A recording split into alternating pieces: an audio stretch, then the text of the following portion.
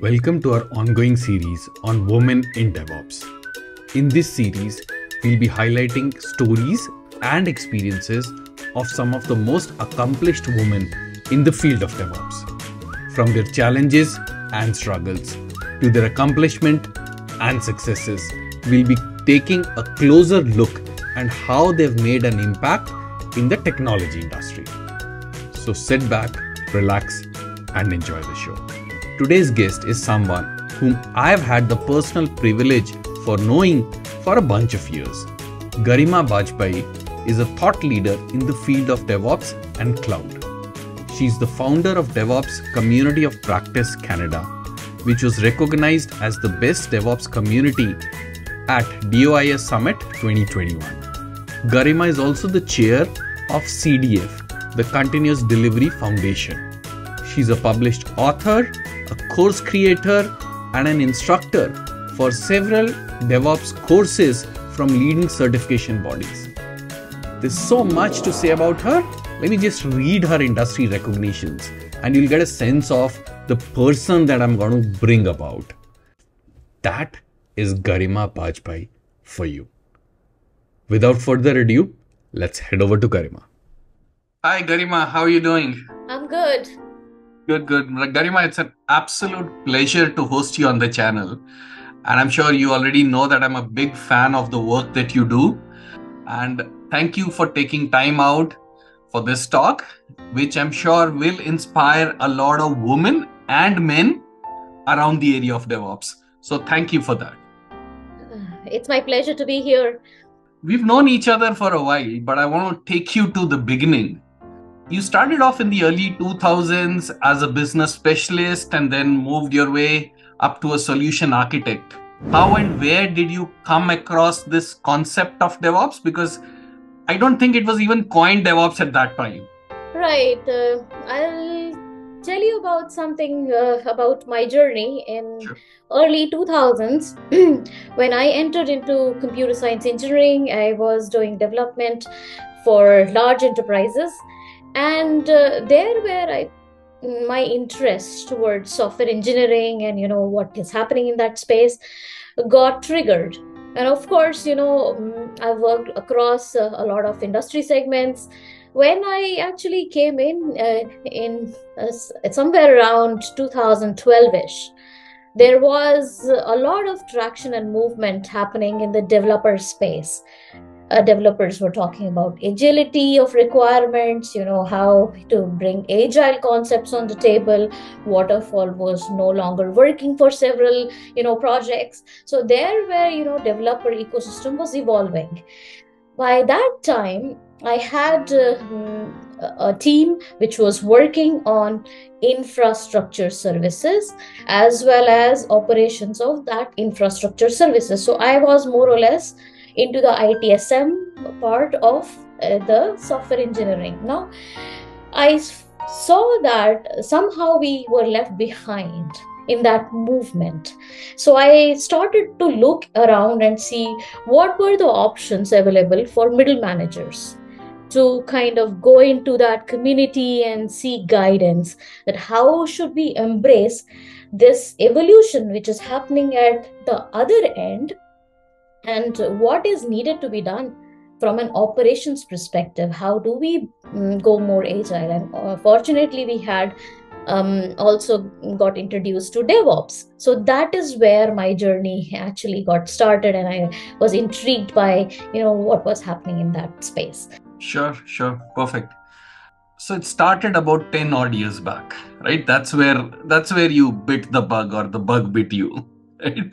So why did you stay in this field for 10 more years and you know many more to come? What about devops is so interesting and fascinating for you? I think uh, one of the main aspects which is very very interesting uh, and i have understood through my journey is um, people is the most difficult aspect of any change which is triggered. Now um, we have a habit of ignoring people so as a manager i also am interested to see how you know we can reduce the cognitive load from you know that dimension how we can uh, embrace new concepts and simplify them and also not introduce overwhelming you know new ideas which probably also jeopardize uh, the teams the individuals in one way. How to embrace new technology but at the same time also be conscious about human centricity of you know the change curve. Perfect perfect. I love that. And a lot of people talk about culture but it's a very vague term. And i love the way you've brought it down into a human a person to person touch. And i've personally been very fortunate to be surrounded by a lot of women in my family and my life.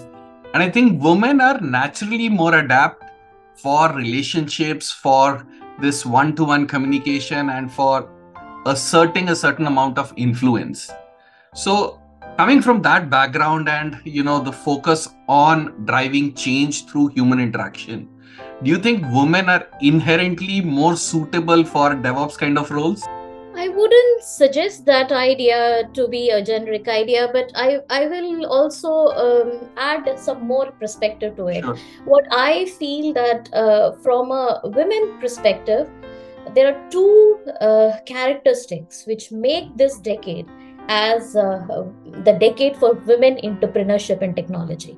And those two aspects are creativity and empathy. I think it is more towards you know how we embrace uh, you know creativity and how do we ensure that we also build teams which are more powerful together so i i and uh, to your point and question that you know how uh, women can be more successful in devops centric roles is because of these two i think primarily these two characteristics. And there can be many more but not generalizing it too much. I think uh, i have come across men who have uh, similar traits and characteristics. So uh, yeah i shouldn't say that it's the only women. I know i know. It's a slightly dangerous area to tread correct. I understand that. So let's come to the community part of the work that you've been doing for a long time right? And you're also the co-founder of canada devops community of practice. So give us a little sense of what is a community of practice and specifically what does canada community of practice do Right. So, uh, from a community standpoint, why this community was initiated was when I st- started to search for resources, learning, mentorship for middle managers. Uh, that was not there was not much available in that space you know you cannot have a safe space where you can uh, ask difficult questions. You know you can brainstorm strategies for future. So that is what led me to kind of create a community with primarily middle managers and senior management. And um, uh, again this community is 1200 people now with um, uh, you know locations like ottawa montreal atlantic provinces. Um, we also have like a, um, a space uh, and license chapter with like africa. So there's a lot which can be done through a community but we have uh, kept it very uh, you know open and safe space to brainstorm. Primarily difficult questions uh, which come to us. All right perfect. Can you give us an idea of a difficult question. What do you mean by that? So I'll uh, start with is DevOps dead? Ooh. Because there's a lot of uh, things happening in that right. space, and right. many people have been advocating that uh, platform engineering is uh, the next state or a future state for DevOps. So, DevOps community is willing to kind of brainstorm what are the elements of DevOps which are evolving into platform engineering and what can be the next steps uh, or possible next steps and what should be the time frame which we look for. Perfect. So in that sense, you are picking up these conversations and in a way evangelizing and also you know probably even challenging some narratives out there Sure, and this is something which we do through the community. So it's not something like uh, um, coming out from one person or one organization.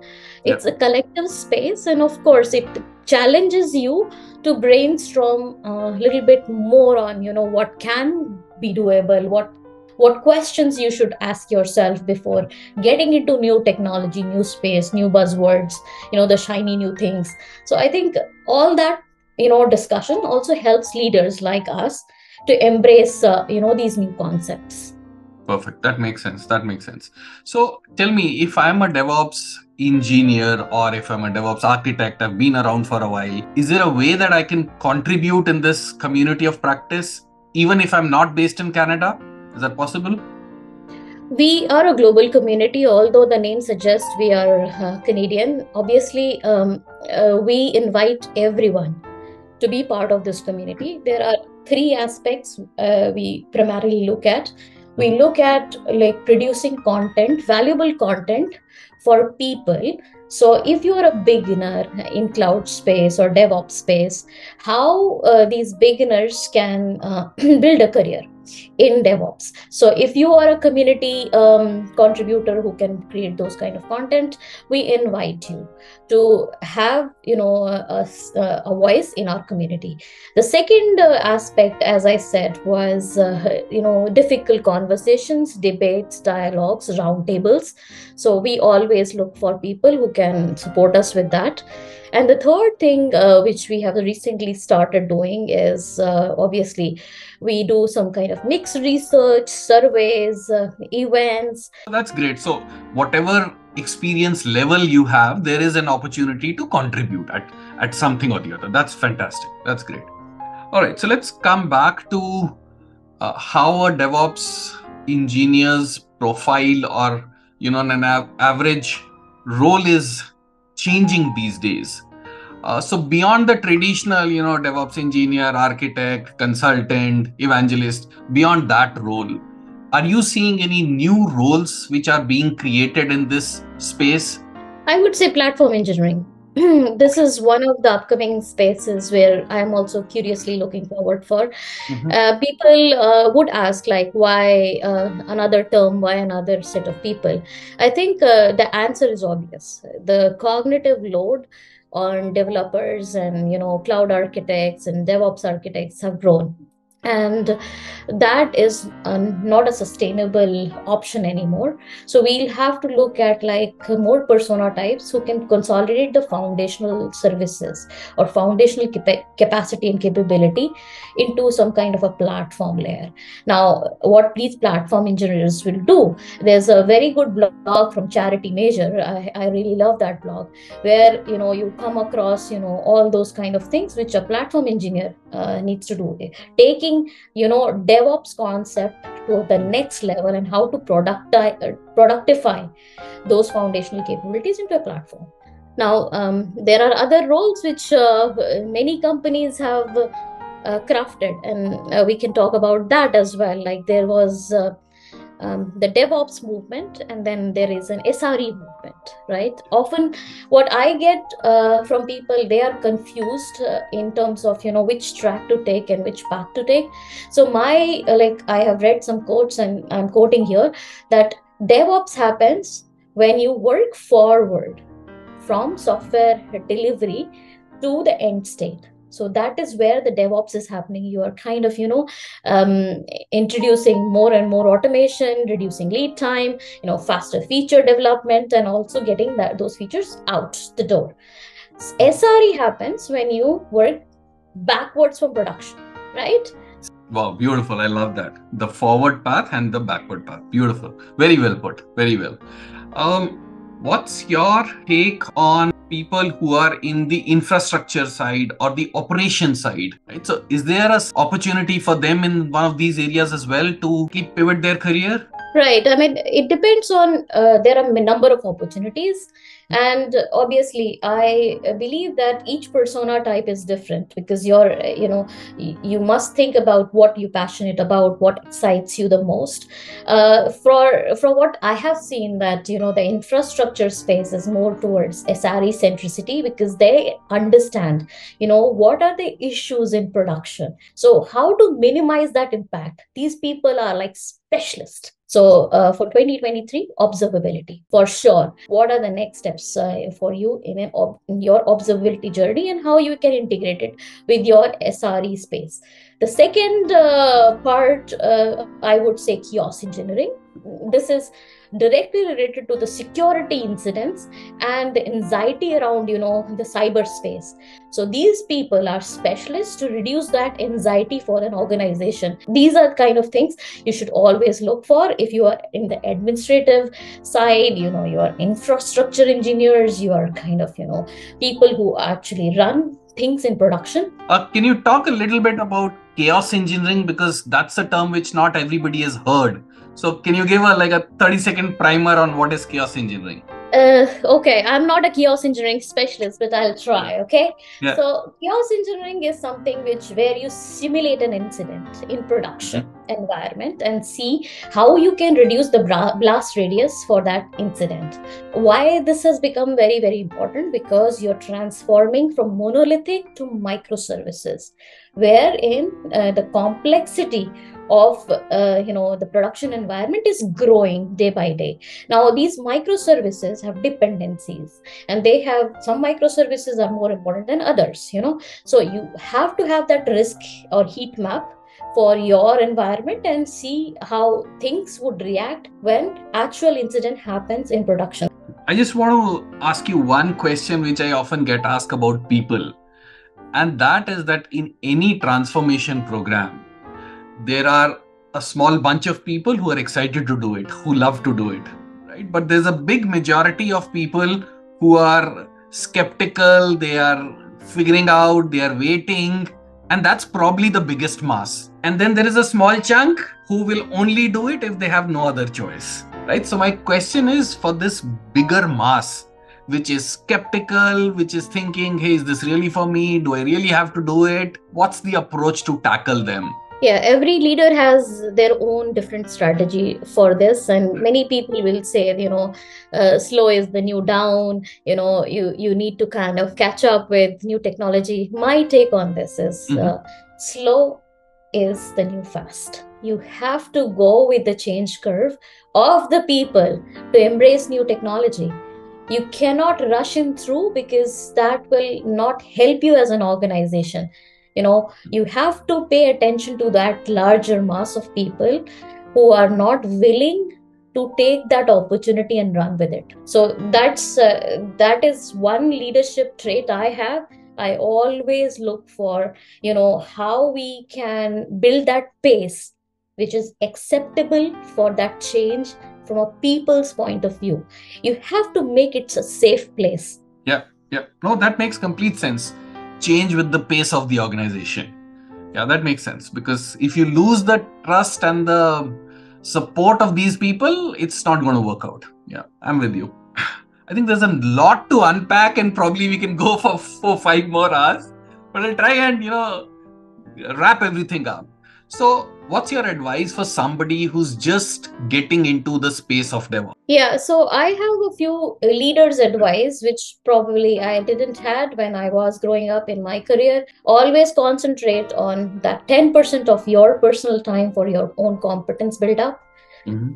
Curiosity and creativity are the best trait for a DevOps engineer be curious be excited about not only uh, you know new technology but also how you can transition from legacy to you know the new new landscape and the third thing is uh, it is very very important in these times to be team player you know no trade secrets you know if you are a person who want to contribute please share yeah and as my daughter says sharing is caring goes back to that. Beautiful. So 10% time to learn, curiosity, and team player. Fantastic. All right, now the flip side of that question. Any advice for people who are running DevOps transformations, who are leaders, who are undergoing a transformation today? What's your advice for them? I think um, they should watch out the time they speak in a meeting. How much time are you listening and how much time you speak? Because if, as a transformation leader, you have to be a good listener. You have to have consensus building with your own leadership team because this is a decentralized way of doing transformation. You know, even if you feel that, you know, you have done this before and you have failed it, please let the person try it out because if you don't do that you will not be able to embrace that idea of you know decentralized way of leadership Beautiful, beautiful. Love that. Listen versus speak and decentralization. Love it. All right, Garima, last question. Almost about two decades in the industry, almost over a decade in the DevOps area. Any regrets? I think uh, one thing which I uh, would uh, reflect back is that I would like to spend more time on my personal learning again this is uh, obviously when you uh, build a community you're a lot of times you have to say yes to things and you want to kind of do things for the people around you. But it as a leader it's very very important that you also focus on your you know learning curve. You know how do you build yourself to the next level? And I, this is something which uh, also comes with experience i guess that how to say no to things which do not which are coming in your way of you know your vision and passion. I think this this is this is these are the things which i probably would if you let me come back again um, 10 years back these are things which i'll embrace. All right. Beautiful. Beautiful. Any last words garima before we wrap it up? Any last thoughts I think um, I would like to thank you, Savinder, for putting uh, this interview in front of uh, the community. I think uh, for me, I'm very grateful for everyone who is joining this movement. I'm learning from all of you, and I think uh, we have many years together to craft many, many new things. So, yeah, thank you for this opportunity. Thank you, Garima. And very well said. We are just getting started here. This is just the warm up lap and we have a ton to do. Very happy to, to contribute to the community in whatever way I can. I think we all owe our careers to the community and we do whatever we can to give back in whatever small way we can. All right. Thank you very much, Garima. It was fun talking to you as always. Thank you. Yeah. Bye bye. Bye for now.